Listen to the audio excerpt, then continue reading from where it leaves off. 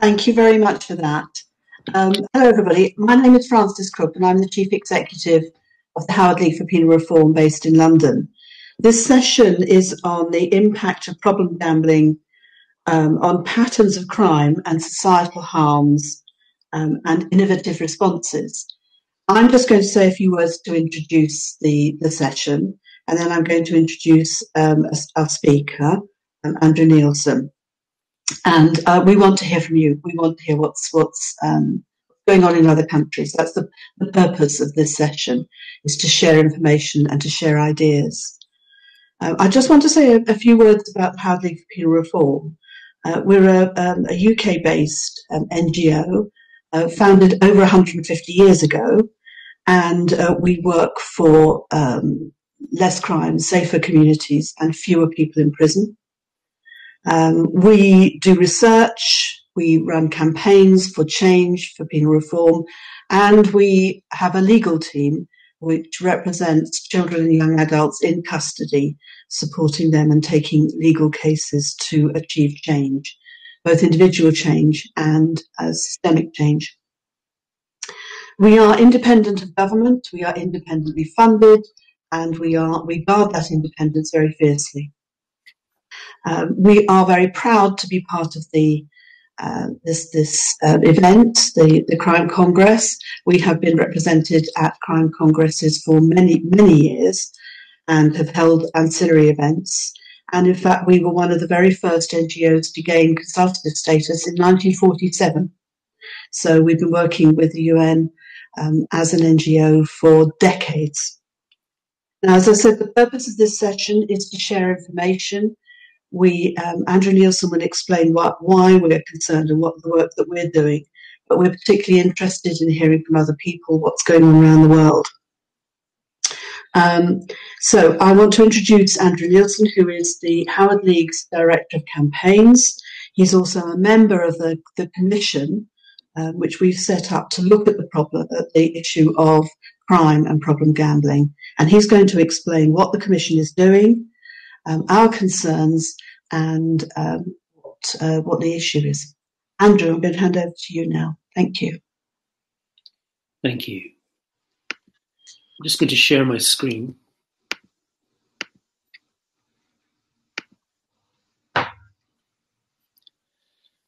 So, uh, good afternoon. It is estimated around 2 million adults in the United Kingdom experience some level of harm from problem gambling.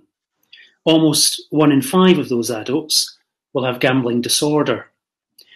Gambling ah. disorder is a recognized mental health condition, and the World Health Organization defines it as an addictive behavior with implications for mental health. One academic study of an English male prison found that problem gambling was reported among 27.8% of the prisoners sampled. One Australian survey reported that 11% of pathological gamblers reported engaging in gambling related illegal activity.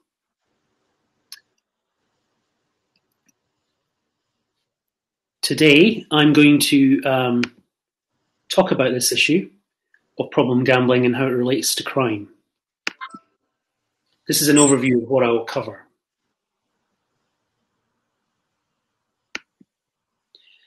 So to begin with, just to recap on, on what Frances said about the, the Howard League for Penal Reform, our jurisdiction of concern is England and Wales within the United Kingdom.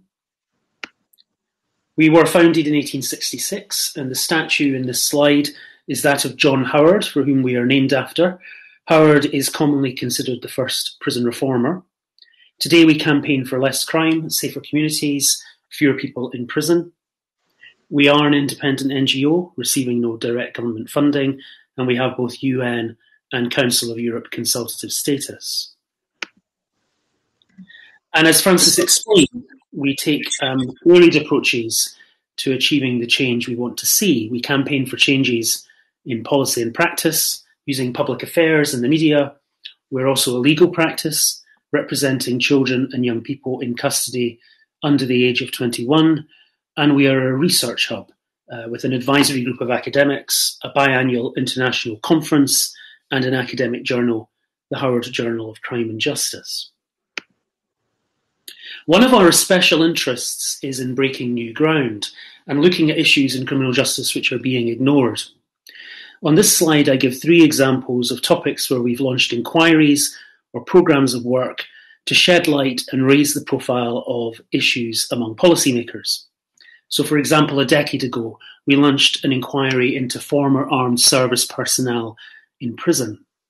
In 2013, we ran a commission which investigated the topic of sex in prison at a time when government ministers insisted that sex was not happening in their prisons. And more recently, we have been conducting a programme of work to end the criminalisation of children living in residential care. So, our latest project in, in that strand of, of work looking to break new ground uh, is the Commission on Crime and Problem Gambling. And I want to begin by summarising what one person has told us about their own experience of problem gambling and crime. So, to quote, I am 54 years old. The occasional and social bet for over two decades turned into an all consuming addiction from literally the moment I placed my first online bet. Over a period of seven years, I gambled away all of my savings, reached limits on numerous credit cards, and took out numerous loans and payday loans to fund my gambling. Sadly, I started to steal from my workplace to feed my addiction. Over a period of four years, I stole around £192,000 until I could no longer carry on what I was doing and confess to my crime. I received a custodial sentence of 27 months. In this particular gentleman's case, it later transpired that a gambling operator had repaid some of the money he stole and paid the gambling regulator £1 million for failings in their responsibilities to identify him as a problem gambler when dealing with him as a customer. Not only does that raise interesting questions as to culpability, whose fault was this, uh, but this gentleman's experience of the criminal justice system was purely one of punishment the custodial sentence he received for the crimes he committed while suffering from gambling disorder. There were no interventions offered to help him whilst in prison, and no opportunities taken at earlier points in his journey through the criminal justice system to divert or signpost him to relevant services in the community. Gambling disorder does not merit the same sort of consideration that alcohol or substance misuse might bring. This despite the fact it is now a recognised mental health condition, as I said at the beginning of my remarks. How did the Howard League become aware of problem gambling and its links to crime? We run annual awards for organisations that work to keep people out of the criminal justice system. In 2017, Cheshire Police and a charity called the Beacon Counselling Trust won one of our awards for developing a diversion pathway for problem gamblers who came to the attention of local police officers. Discussions in Cheshire made it clear to us there was very little being done elsewhere in the country on this issue. The Howard League decided to remedy this and begin our own investigations. We established the Commission on Crime and Problem Gambling in June 2019. It is chaired by Lord Goldsmith QC, as pictured on the slide. He leads a commission of 16 individuals, comprising of academics and professionals with expertise in criminal justice, public health, the gambling industry, and with lived experience of gambling addiction. The Commission is running for three years and seeks to answer three questions. What are the links between problem gambling and crime? What impact do these links have on communities and society? And what should be done? So let me provide a brief overview of what the Commission has been doing. Key to our work is gathering evidence. The Commission has been holding a series of oral evidence sessions and has already begun making policy submissions to government.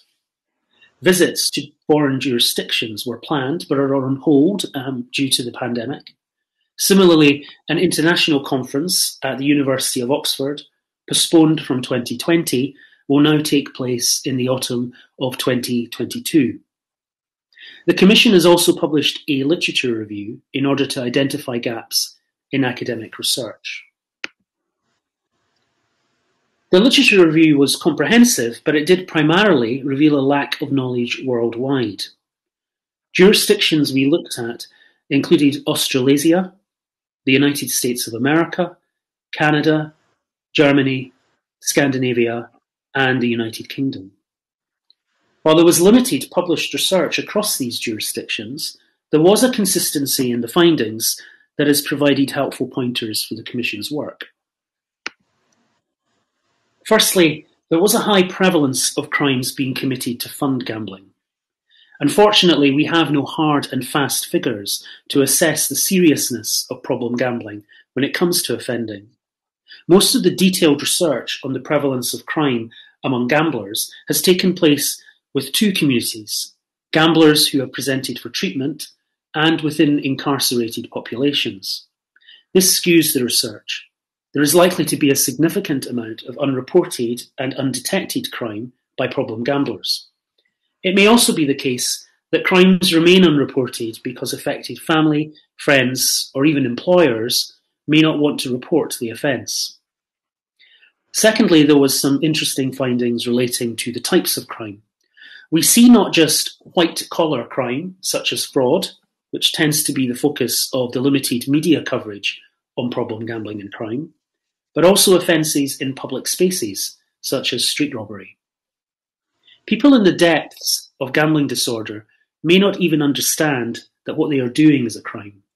Where money is stolen from employers or family members, those committing the crime often see themselves as borrowing the money, with the hope of paying it back from future gambling wins. Finally, we saw other related harms. There is concerning evidence of domestic abuse and child neglect linked to problem gambling behaviours. So the Commission is now exploring how to build our knowledge. What exactly is the prevalence of gambling, gambling related crime in the UK? What is the nature of links between gambling and crime? What are the characteristics of problem gamblers who commit crime? And what do the answers to these questions mean for policy and practice? In order to answer these questions, we have launched a number of small research projects. The first project is surveying and interviewing sentencers to explore their understanding and treatment of the problem gamblers who come before them in the courts. That research should be published in the next month or so. Our second project is exploring people's lived experience of crime and problem gambling. And further research is forthcoming and will start to fill those gaps in knowledge that the Commission's literature review has uncovered. So why are we here today? We are here today at the 14th United Nations Congress on Crime Prevention and Criminal Justice to hear from all of you. Is problem gambling an issue in your nation? Are people coming before the police and the courts who may have offended because of their gambling disorder? Is this a hidden harm that criminal justice professionals in your jurisdiction are not aware of? Could our understanding of crime and problem gambling, so limited as it currently is, point to the tip of an iceberg? The Howard League hopes that our Commission will have lessons for countries around the world. But right now we are at the start of the conversation and we hope to start it. Thank you. Thank you, Andrew. Um, very comprehensive overview of, of uh, what we're doing and why we're doing it. Um, and really, the, the point of this session is to hear from other people um, and to ask the question what is going on in other countries. As, we, as Andrew pointed out, we did carry out a literature, we commissioned a, a literature review which showed some research in some jurisdictions um, and that people were started to be aware that it's a growing problem. But um, there seems to be very little work going on. And we deliberately held this session without a lot of speakers. I know quite a lot of sessions do have speaker after speaker after speaker, but we deliberately didn't do that because what we wanted to do was, was to consult. The session is a consultative exercise um, uh, to, to, as a, to scan the landscape and see if there is any work going on in other jurisdictions. And to be quite honest, what our literature review found was that there's very little work going on around the world, and yet it is a growing problem. Um, individuals are getting caught up in the criminal justice system. There is a lot of problem gambling, lot of gambling addiction, and um, it will become an increasing problem across the world. Um, and we appear to be the only people um, examining it at the moment. So I predict that the next UN um, Congress will have more sessions on problem and gambling and crime. Um, it's just that we're an early an early intervener in the in the debate, a pioneer. Yes, I think the only um, the only study that we were aware of um, before our our project was in Australia, in the state of Victoria, where they did do um, some research on this. Um, but generally, there, there, there is very little work being done um, on the links between problem gambling and crime. Um, and yet, it does seem, particularly obviously in the UK, um, but I think in many other jurisdictions, um, it is an increasing issue, uh, which the criminal justice system just isn't isn't across and isn't really understanding. And as I said in, in the presentation, um, the sort of um, even just asking the question that you might expect from um, someone with um, drug problems, alcohol problems, you know, that the police would um, ask that question Do you have those issues when you're in the police station? Um, at, or at any point in the criminal justice system, professionals might ask whether um, those are issues which have contributed to your offending. That that isn't happening when it comes to problem gambling, um, and so the onus is really on the individual um, to admit uh, the problem, um, and even then, uh, it's very unlikely that they will get any help um, from criminal justice professionals. With some of the cases that we've found, the individuals have reported um, how devastating their addiction and their problem gambling has been for families. Um, it can be absolutely catastrophic for families because, and it can become very, um, very bad very, very quickly because there's no limit to the kind of gambling that people can, can indulge in very, very quickly. So people can lose their homes, families can lose their homes, they can get into massive debt. Um, it's a very high, it can be a very high value crime, uh, very, very quickly. Um, and yet, as, as Andrew said, there's very little understanding of it within the criminal justice system. The research we're about to publish that we conducted with our magistrates, um, who uh, there are some like 13,000 lay magistrates in, in England and Wales, and they are the, the first court, the, the first court that hears um, crimes um, and remands people.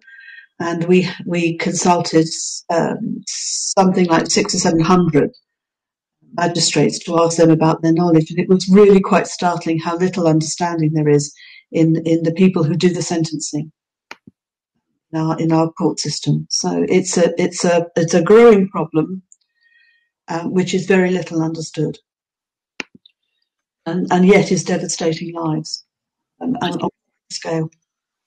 Yeah, I think one of the other interesting findings from the literature review, which I didn't mention in the presentation, um, is around women, women and gambling-related crimes. So the the prevalence of problem gambling among women in the criminal justice system is quite striking from the limited information that we've got. It would seem that women who are arrested are as likely to have gambling problems as men. Um, there was one um, study um, which actually found that in the sample of people arrested, 47.6% of women in their sample um, were classified as problem gamblers compared to 31.6% of men. And if that has a read across in terms of crime, that's quite unusual. Obviously, women tend not to commit crime in the way that men do. Um, but when it comes to problem gambling related crime, that may not be the same case. Um, we are, of course, looking at different kinds of gambling, um, whether it's buying, getting addicted to buying lottery tickets, whether it's um, online gambling, whether it's um, racing or uh, work in, in betting shops, um, any any kind of gambling at all. And we, we will be looking also at the link between gaming and gambling, which is um, a slippery slope in some ways. Uh, so it's it's it's every aspect of the individual's engagement with with problem gambling and um, the the consequent um, committing crimes to feed the habit um, because it gets out of control. It's probably worth also saying that in the UK, um, what we we have experienced is over a decade and a half of um, liberalisation of gambling laws, um, and that has fueled um, a, you know a huge amount of the gambling um, and the problem gambling that we see in in our jurisdiction. Um, and it is a big issue in, in, in the UK in terms of media coverage and political um, saliency. Um, gambling and concern around problem gambling is is really a, a, hot topic, we might say. The government is currently uh, undertaking a review of gambling legislation, um, with I think an intent to um, to um, reverse some of the liberalisation that we saw. Um, and so the, there is a that specific context for us that um, over that decade and a half of liberalising the gambling legislation, uh, that has almost certainly fueled not just um, problem gambling, but then the crime related to problem gambling. Um, but the UK's example is not atypical. There are lots of jurisdictions with liberal gambling um, laws, uh, and we suspect um, that other jurisdictions will have the same um, issues with crime and problem gambling that we have in the UK.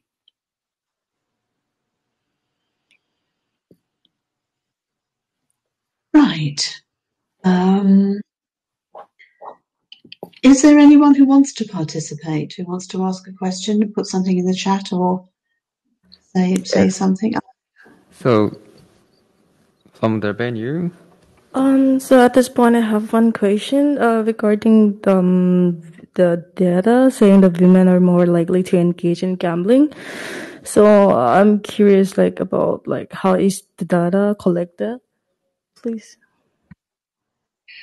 I think what Andrew was saying, although Andrew, you'll correct me if I'm wrong, that um, men tend to be men tend to commit more crimes than women, um, and men engage uh, get uh, in conflict generally with the criminal justice system than women. But what we're finding is that women are committing crimes linked to gambling on a bigger scale than um, than in any other area.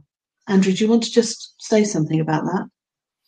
You'd probably explain it better than me. um, well, I, I, mean, in terms of how we the, the, studies that have taken place, they are very small, um, and um, they are, as I said in the presentation, limited to people who have um, presented themselves for treatment or studies of incarcerated populations. So researchers going into prisons and asking questions. Um, and and the concern really, as, as, as I said in the presentation, is, is what it does skew the findings in that um, most problem gambling and crime um, is not going to be uh, done by people in prison or indeed um, um by the people who have got to the point where they're presenting themselves um, as as being a problem gambler and needing help. Um, so there is there is pretty limited research into this. Um, there was, um, I know there was a, um, a, study in 2003 in Australia which went into looked into um, correction facilities uh, there. The study that I mentioned at the beginning of our presentation um, into a male prison in England uh, took place in 2012. There was also that also um, uh, did look at um, a female prison. So I said there was a 27.8% prevalence uh, reported amongst the sample in in, in, in in the, the male prison, it was 18.1% amongst the female sample. Um, but other research, as I mentioned, uh, suggests that it's it's more um, it's more even the the prevalence for men and women. Um, I think the issue really is that, um, as we know, um, women tend not to commit um, violent or sexual offences. They sometimes do, but it's it's rarer. Um, uh, that tends to be the sort of offence that we associate with men. The issue with problem gambling, of course, is that it's finan- You know, if, if you do end up offending, um, it will often be financially motivated, and it is to do with the fact that you have got yourself into a, a lot of debt. Um, and perhaps that is one of the reasons why we see um, women being, if not as likely, pretty, you know, pretty much as likely as men to commit crime uh, due to problem gambling. Because it's not violent or sexual offence. It's it's it's to do with it's very much to do with the problem gambling, and in a sense, your gender is irrelevant. Um, in, in, in, if you're in trouble, you're in trouble. The kind of crimes we're, we're talking about um, are, so I suppose they fall into two different categories primarily. Uh, one is the, the, the fraud, uh, which we're finding women are getting involved in. So a woman will get um, addicted to, to, to, gambling.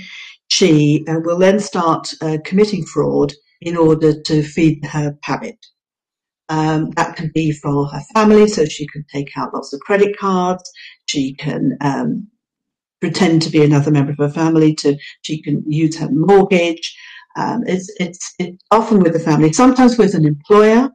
So um, and if she has access to money in her employer, that can be a fraud. The, the second kind of crime is is more um, is more linked to violence. Um, so we're finding it uh, um, problem gambling um, is linked to domestic abuse and domestic violence. That tends to be uh, more men committing that, but more. Um, and it can also be um, problematic with, and linked to um, alcohol, um, drugs, and other other problem behaviours.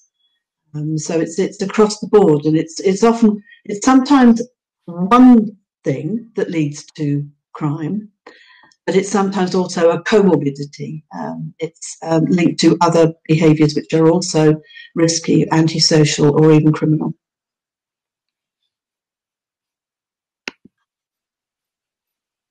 Does that answer your question?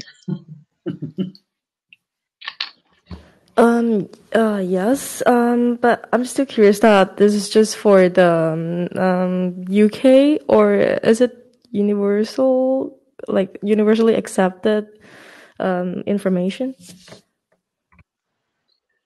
Andrew. So the this is the problem. We, you know, as I say, that most jurisdictions have not done um, research into this. Um, we know that um, there has been some work done in Australia um, and some work done in the United States, um, but most jurisdictions um, have, yeah, are not asking the question. So, and I think that's really key to to what what our work is about, and in in more ways than one. So.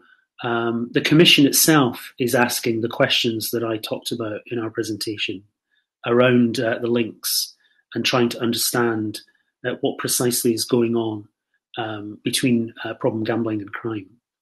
Um, but if anything, what we're what we're hoping comes out of this is that that, that que- those questions are asked um, by more researchers um, across the world in different jurisdictions. We see academic studies into this, um, and ultimately, if that if the evidence can be provided uh, that this is a significant issue, that, that problem gambling is a an engine to crime in the same way that um, substance misuse is, poor mental health, or or, al- or, or alcohol problems, um, then there should be questions asked um, within the criminal justice system, and there should be um, uh, possibilities. For example, um, if a police officer comes, um, someone comes to the attention of the police uh, and the question is asked, you know, is is your offending due to problem gambling? And that person says yes.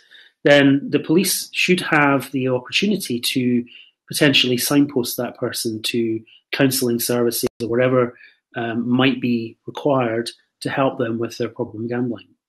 Um, and at the moment, other than the one project that we uh, gave an award to in the UK, that's not happening.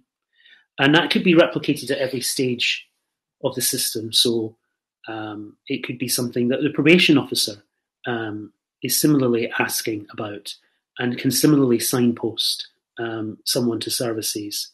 Um, it's something that could be asked in court. Um, ultimately, if it gets to it um, and someone is in prison, and, and, it's only then that it becomes apparent that their problem gambling is an issue. And we haven't talked about gambling in prison, which is also a interesting topic. That uh, there is quite a lot of gambling that happens actually in prisons. Um, but again, that there should be the opportunity to um, put people in touch with services that can help them. Um, and at the moment, that's not happening. I think it's interesting that the um, thank you, Andrew, for that. That's helpful. Um, I think it's interesting that the um, having been at crime congresses over the years, there's been a lot of work on an understanding worldwide about the links between uh, you know, about drugs, for example. Um, but this has not been an issue that the, um, the, the, the world has come to terms with the, the issue about gambling. Now, what we are not doing is our commission um, is not going to look at serious and organised crime linked to gambling. But of course, that is a very big issue worldwide, but we simply can't deal with it. And I think that the um, that ought to be something that, that other bodies look at. What we're looking at is the individual um, and how they fit into the pattern, what kind of crimes individuals commit, and to a certain extent, how they become victims of corporate greed um, and uh, the, the, pressure and the unregulated um, access to gambling, uh, which, as Andrew said, is, is advertised very widely everywhere um, in the UK. You can't get away from it. We are bombarded with um, advertising pressure to gamble, and it's becoming increasingly an issue with people becoming addicted and therefore committing crimes in order to feed that habit. There's some very complicated questions. The other thing that we would like to look at, um, which I think is, is follows on from your question, um, is the way that different um, different populations gamble in different ways. Um, we we think we know that women gamble in a different way to men. Uh, they, they use gambling in a different way and they commit different sorts of crimes. Um, but we also know that different minorities or different populations commit uh, different sorts of crimes linked to um, different patterns of, of um, in, in, addicted to gambling and different sorts of gambling. There's a lot of research to be done, and we're right at the beginning. Um, I think the world is right at the beginning of understanding this as a problem which is going to get a lot worse. And unless we pay attention to it now, uh, at the next crime congress and the one after that and the one after that, this will become an increasing problem uh, that people will start to pay attention to. So I'm, I'm, I'm asking people to, to, to, do it now before too many lives are wrecked, um, which is what we're seeing in, in, um, in England and Wales. Um, families and lives being, being wrecked, and indeed people have taken their own lives, young people, their own lives by suicide because of the um, extreme distress and the problems it has caused them. So it's a very, very serious problem, um, but very little understanding of it. I think one of the one of the challenges for us has been, as I, I said, that we were intending to make um, fact finding trips to other jurisdictions, and that has been curtailed by the pandemic. Um, I think we would have gone to Australia because I mentioned that they had, uh, in the state of Victoria, they have done some um, research um, on this issue, um, and we were interested to find out more about that. Um, in America, there interestingly, and uh, my understanding is these have actually been discontinued. They're, they're not. They're no. They're no longer in operation. Um, but in the states of Nevada and New York, um, around um, around the turn of the millennium, um, they did set up gambling courts, so specialist courts to deal with with um, crime related to problem gambling, and I think that that um, uh, comes from um, something else that we've seen in, in the United States, which is uh, specialist drug treatment courts. Um, now, those gambling courts, as I say, um, unfortunately, they, they, as far as I'm aware, they, are no longer operating, and there was very limited evaluation of what they were doing at the time. Um, but that's exactly the sort of thing that, that you know, if, if it was felt, and it's interesting that one of the states was Nevada, um, and we think about Las Vegas, probably the, the, the, the city most synonymous with gambling. But it was felt uh, there that, that it was such an issue that they should actually have specialist courts to deal with cases. Um, I'm sure there is quite a lot that we could we could find out um, um, from people who were involved in those projects. Um, perhaps we might not want to follow them. I'm not sure we need specialist courts as such, certainly in the UK. Um, but it, as I say, interesting that an interesting sign of another jurisdiction where this has been um, uh, uh, recognised as, as, as, a, as a significant issue. Thank you for your question. Is there anything else you'd like to ask, or is there any follow up you'd like?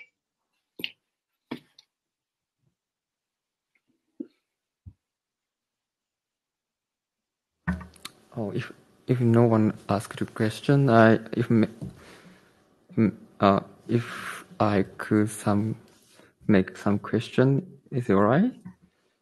Yes, please.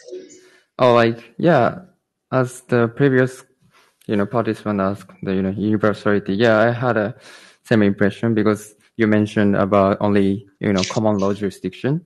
So yeah, I wonder yeah, if there's any you know common things between common jurisdiction and also you know other jurisdiction. Like Japan is not common jurisdiction, but because you know uh like 2000 like yeah in few years ahead the government tried to invite like integrate the like cardinal result for the you know for Japan.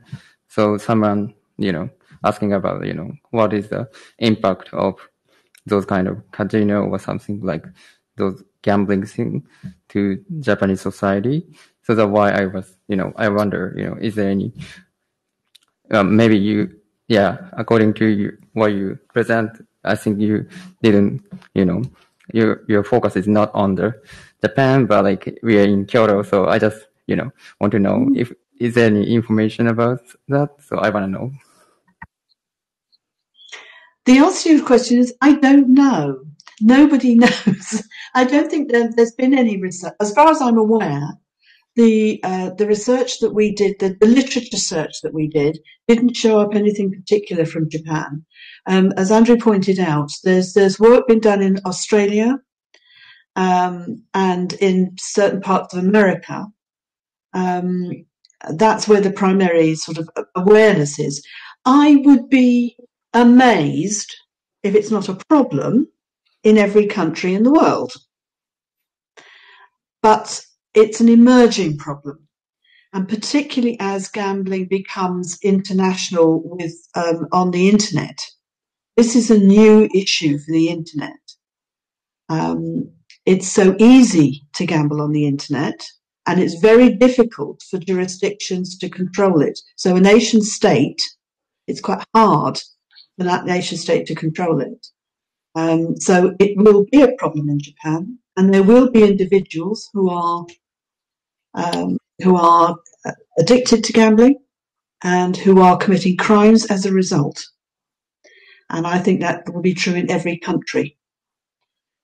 The issue is that not everyone is aware of it yet, um, but they will be.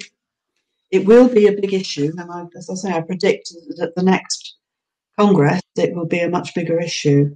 Um, and I think it's something that the, the UN it's the the, um, UN itself ought to look at. Um, so the answer to about Japan is we don't know, and I don't think anybody in Japan knows. And there needs to be research done to find out. And until people start coming to court um, with crimes that, that look as though they're about something else, but actually underneath the it's the crime addiction. So they will come to court committing crimes to do with domestic abuse, domestic violence, fraud, theft. Um, but actually, underneath it is is the addiction. Um, there'll be recognition in Japan that if people are committing those crimes because they have an addiction to drugs or to alcohol, or they have mental health problems, but the question is not being asked about gambling, and it's not being asked anywhere.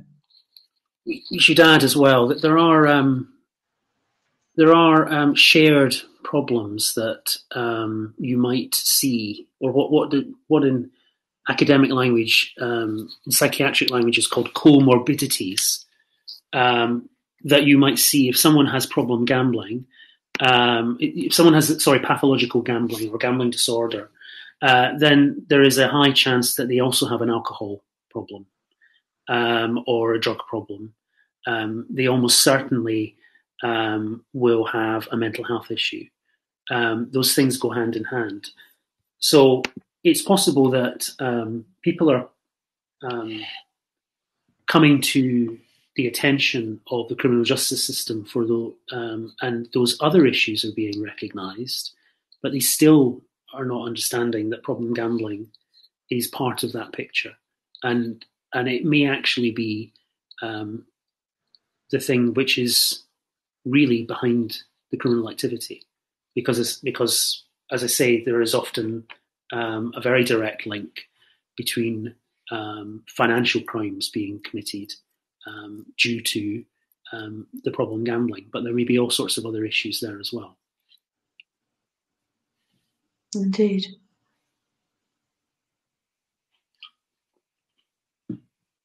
Um, we should probably. There... Yes, go on. Sorry, Frances. I was saying we should probably say, particularly as this um, is being recorded and people might watch it after the live mm. session. We should probably say that if anyone um, does want to get in touch with us, um, then please do. Um, our email address is info, I-N-F-O, at howardleague.org. Um, and if you title the email um, Crime and Problem Gambling, um, then that will definitely um, come to our attention uh, and we will, we will be happy to um, respond to any questions at a later date.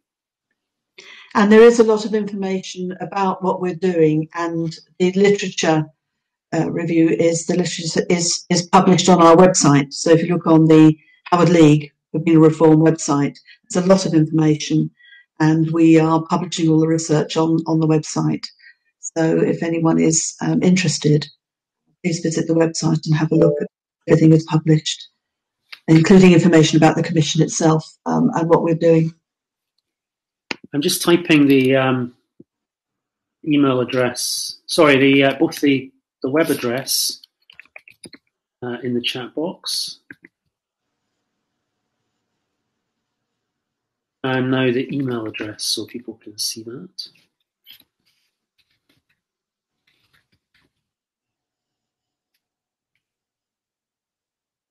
There we go. Right. Thank you.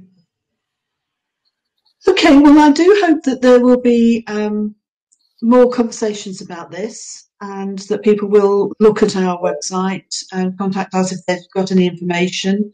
We will continue to be working over the next year or so. We will be publishing research. Um, we have several research projects um, coming up to be published in the next over the next year or so um, which we hope will be useful to all jurisdictions because the problems are are international. And uh, we will be probably at the next Congress with another session. Um, is there anything else? Oh, if may I? Um, so we are in the middle of COVID crisis, right?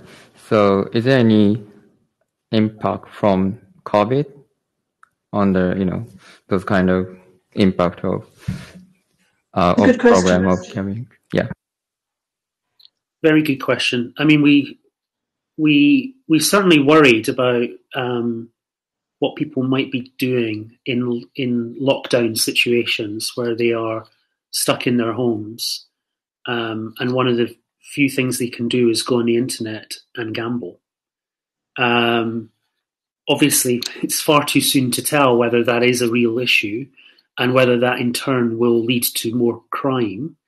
Um, but it would certainly be a concern of ours um, that um, I mean, I mean, again, you know, I mentioned that you it, there are shared problems. One of the problems that you might well have if you're a problem gambler is anxiety disorder. Well, there's a lot to be anxious about at the moment with COVID. Um, and and yes, you, if you're at home and you, one of the few outlets that you have is to go online, um, and you potentially uh, are enticed into um, gambling, then um, that could be a serious issue. And and and it comes back to what Frances was saying that we suspect this is going to be um, a problem that we hear more and more about in coming years, and it is quite possible that that that COVID um, will play a part in amplifying um, the issue of problem gambling, and in turn, then uh, the issue of crime that is uh, related to problem gambling. Absolutely, yeah. And of course, we don't know, but it, there'll have to be research done uh, um, over, over, the next few years to find out um, whether it has deepened the crisis.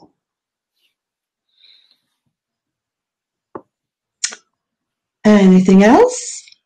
More questions? Um, so, question from me. Is it okay? Yes. Yes, please. So, like a social media issue that's like worldwide. Do you think that is there any like nexus between like gambling and transnational crime? Because uh, I think uh, your research mainly in uh, UK and then Australia, those problem affects to the other countries. It, it's not something we're looking at. We can't. Um, the Howard League Reform is a, um, a, a medium-sized NGO um, based in, in, in England and Wales, and we're we're we're simply not competent to look at transnational crime. The answer to your question is undoubtedly yes. Uh, we know that um, you know, that that I'm not going to name any of the various different organisations, but it's well known that um, gambling, um, bootlegging, and, and, all sorts of other things is, is um, serious and organised crime is very closely linked to gambling, um, and to, and it is transnational. And at the moment, because it's so easy to be transnational because of the internet, it will probably be um, a, a burgeoning issue. It is not something that we are looking at though, but I think it, it is a very serious problem and does need to be looked at by bodies that are more competent to do it than, than we are.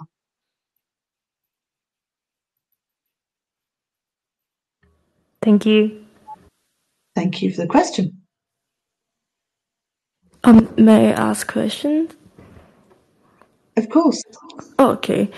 So I'm not sure if um, this um, is a good question, but I've been thinking about it and want to know your All opinion. questions are good. Thank you. So, um, I think we can't deny that the governmental elites and influential businessmen are heavily engaged in this kind of um, um, gambling. If without the these people who have um, power over the, their own jurisdiction, the gambling won't be supported. And do you think um, we have some we have to uh, to do something with those people?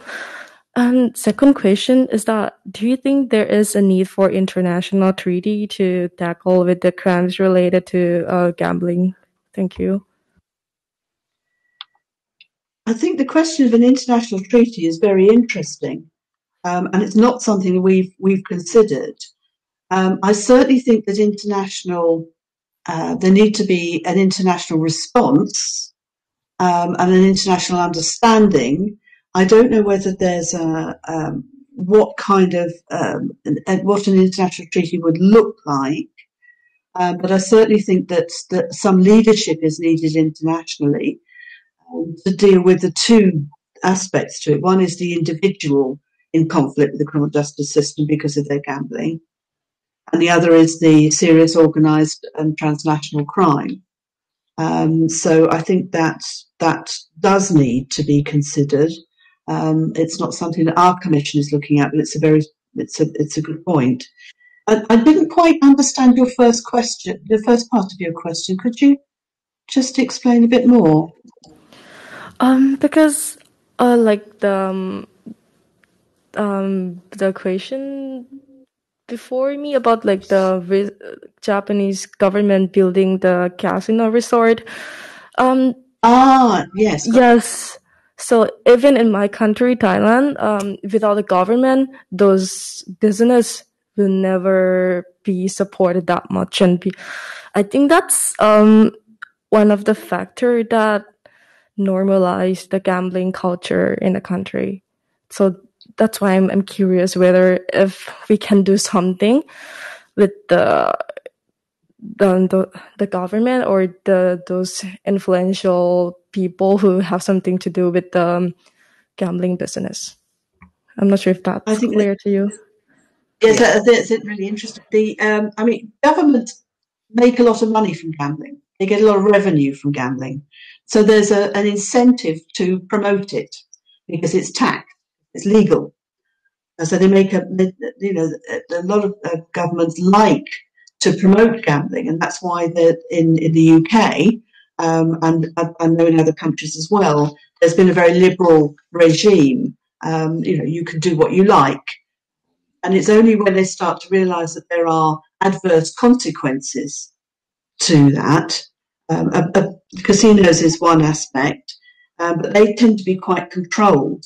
What we had was um, betting shops with machines in them where there was no limit, and you could you could play on these machines in a betting shop and lose thousands and thousands of pounds incredibly quickly. Um, and the, of course, the government gets a lot of money from the tax revenue for that. But it was only when there was a big fuss about it um, that people were being drawn into problem gambling and losing a lot of money that the, the um, there was a limit put on the, um, the betting machines. Um, so the pressure from government is to expand gambling because they make they can get tax revenue, whether it's casinos or machines or um, the sorts of, betting. Um, the the sort of wild west of gambling, the the gambling that is uncontrolled or less controlled, is on the internet, um, and governments are finding that very difficult to control. And of course, they don't get the, um, the revenue because quite often the companies are based not in, in the jurisdiction itself, but somewhere else, um, offshore. Um, and it's very difficult to control um, and difficult to get the taxation from that. Um, but governments are pulled in different directions on this because of the income they get from the from the taxation. So yeah, it's um, going to be a difficult one. Andrew, do you want to add anything? Well, I, I, I just agree um, with um, the speaker's point about um, it, it is um, important for political leaders to show leadership, and um, they can do that in a number of ways. And one of the the, the simplest ways is in their own behaviour. Um, uh, so, of course, um, I would agree with with that with, with with what the question was basically getting at. Yes. Government leadership. Anything else? More questions or any points anyone wants to make? Um, or I think if we come to an end, we come to an end. Yeah. I think we've covered quite a lot of ground. Um, there's been some really interesting questions. Thank you for that. Uh, this session is is being recorded and I think is being going to be made available fairly quickly. We'll put it on our website and um, hopefully the, the, conversation will continue and people will will get in contact with the Howard League, look at our website, um, and I'm sure uh, when we publish our research, if, if people can uh, keep an eye out for that, um, because it's the it is groundbreaking. It's, um, it's the, the first of its kind. and other jurisdictions apart from, from the UK and England and Wales will will start to understand what's going on in their countries as well, because it's it will be similar. Obviously, there'll be different cultural, national, historical differences, but but the, the issue is international um, and is growing. Um, and will become a, a serious problem for criminal justice systems, criminal justice agencies around the world. Um, I want to say thank you. Thank you for your questions. Thank you, um, Aki and Anna, for helping us and for facilitating this session. Um, we, we appreciate the, the help we've had um, from um, the, the, the, UN and, and all the staff and everybody, and Gary at the, um, in Japan.